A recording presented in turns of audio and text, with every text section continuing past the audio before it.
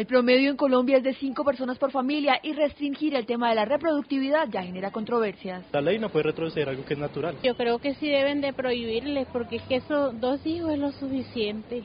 El proyecto de ley que cursa en el Congreso busca mediante estímulos tributarios que los colombianos se autoimpongan tener máximo dos hijos.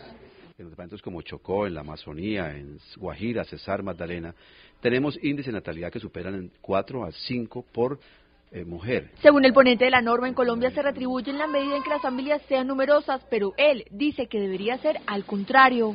Hoy el Estado incentiva eh, tener más hijos todos los programas de, Familias en Acción y estos programas pagan a las familias por cada hijo que tengan. Yo pienso que el objetivo debe ser inverso si queremos disminuir esas tasas de pobreza y de natalidad. La Iglesia terció la polémica y dice que la familia no se puede restringir. La Iglesia de ninguna manera puede aceptar esta propuesta y rotundamente sale al encuentro a decir que no estamos de acuerdo. Primero, la libertad del ser humano, el libre albedrío. Yo tengo dos hijos, me gustaría tener dos hijos más. Y uno debe tener los hijos que uno mantener.